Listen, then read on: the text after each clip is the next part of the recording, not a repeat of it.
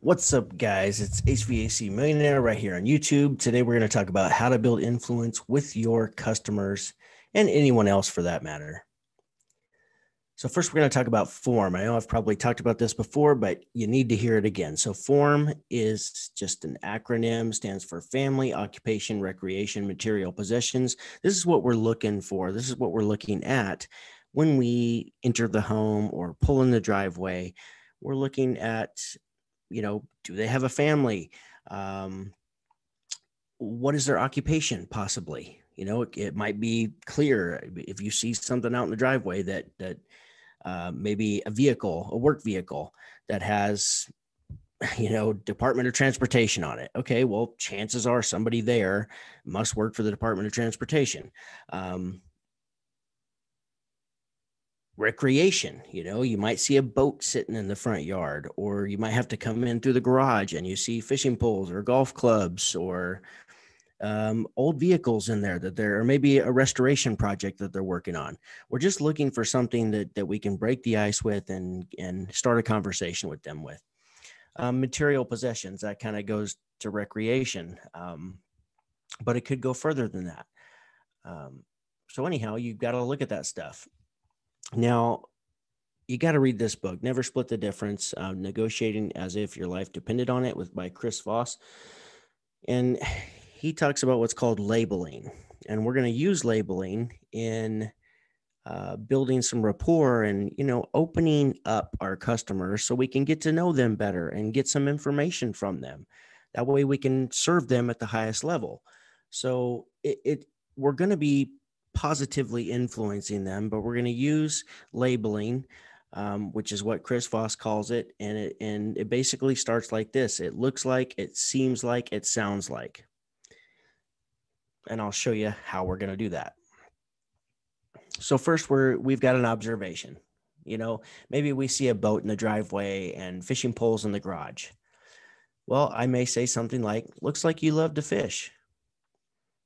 And they may say, "Oh yeah, we just got back from a trip, and um, you know we we uh, we we caught a few, but you know that's why they call it fishing, not catching. We didn't catch very many." So, well, still sounds like you had a great trip. I, have been on several fishing trips where uh, I didn't catch anything. he says, "Yeah, I mean, besides for that, we camped and we we actually cooked out and." Um, we did we definitely didn't miss a meal. We we ate very well. Well, uh, and, and the weather was beautiful. As I may say, seems like you probably didn't want to leave. Oh no, I mean we yeah, you gotta you know live the dream, get back to work, do the do the daily grind. well, sounds like you might be ready to plan another trip. How long ago was that trip? you know, if I didn't hear him the first time. Um, so you see how this goes. It like I can get a lot of information just by using seems like, sounds like, looks like.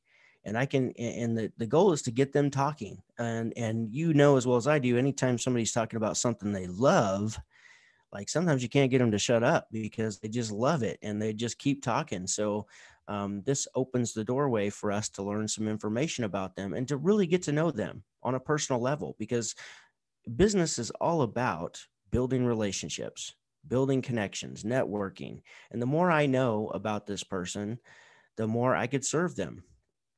So here's another observation. You notice a golfing trophy maybe in the basement. I may say something like, looks like someone in your family's into golf. I noticed the trophy over there uh, on the fireplace mantle. Oh yeah, um, I, I actually won that a few years back, or my son won that. Let's say he says my son won that, and uh, you know we place it up there because he's really proud of it.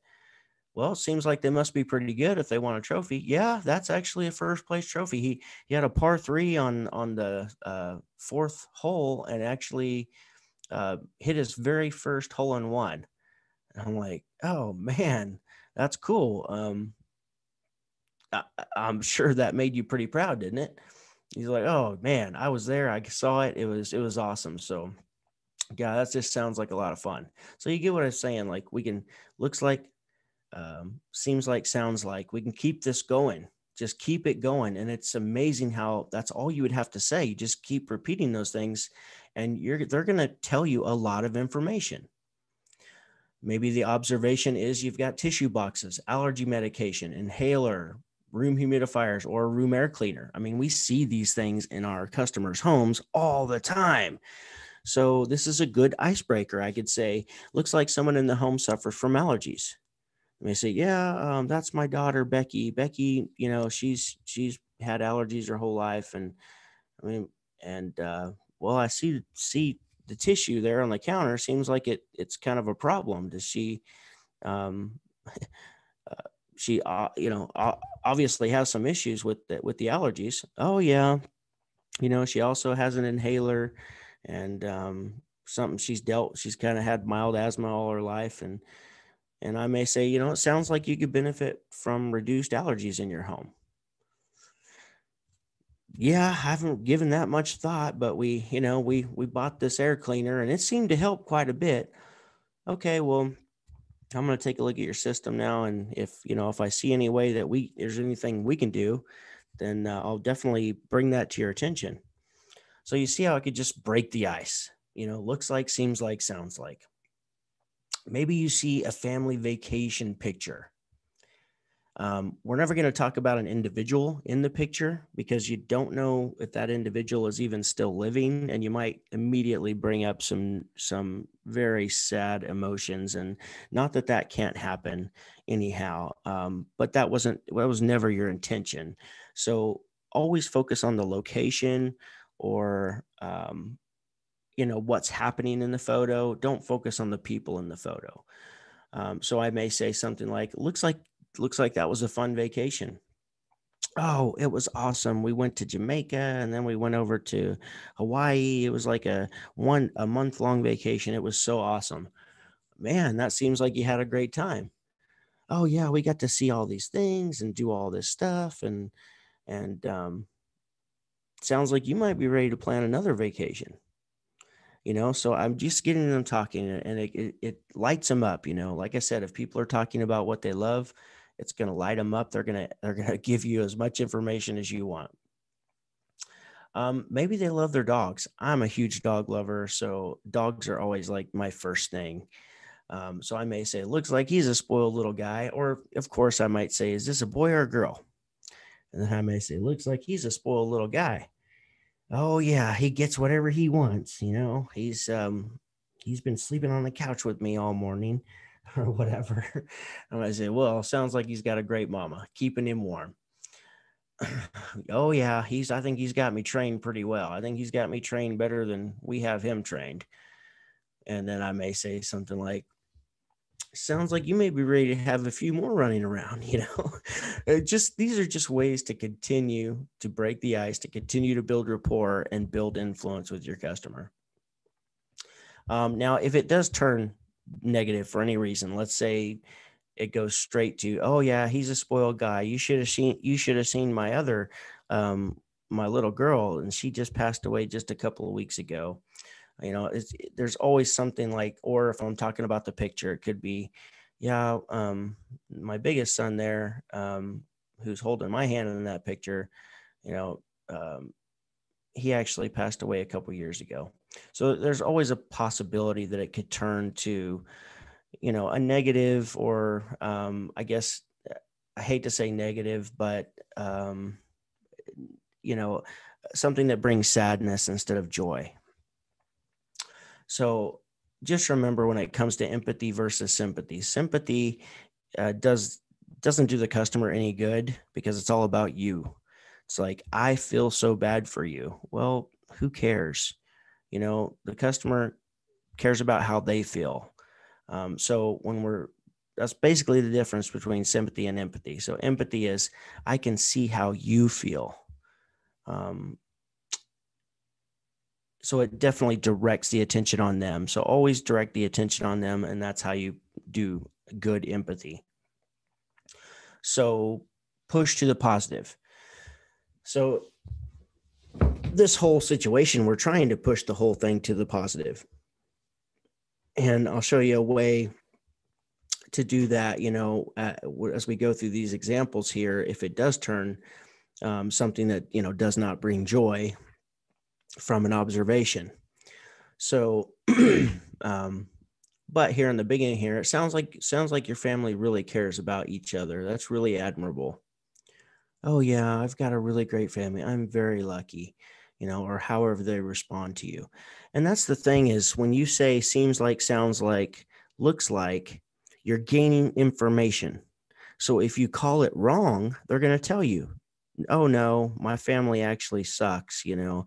Okay, well now I got this information that's going to determine how I continue the conversation. But you're they're going to give you information when you use seems like, sounds like, looks like. So seems like this little guy depends on you and loves you very much. Looks like you have some great memories that will always stay with you. Or showing, you know, extra empathy here. I can see how much that hurts you when when you're talking about it. I can feel how much that meant to you. I can see how important that picture is to you. I can feel how much you care about that. Always remember to listen five times more than you talk.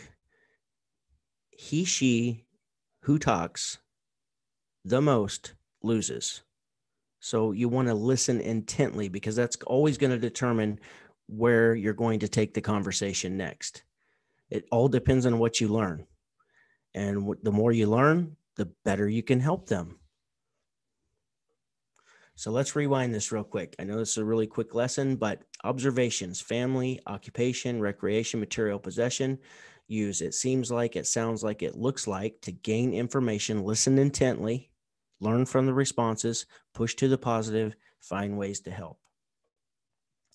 Hope you enjoyed this lesson. If you did, visit hvacserviceready.com. I've got technician memberships to make you a better technician. I've got business owner membership that's going to make you a better business owner.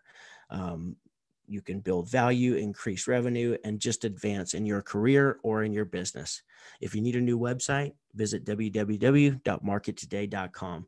Get noticed online, get recognized as a professional, convert more customers into paying clients. That's it, guys. Go make money.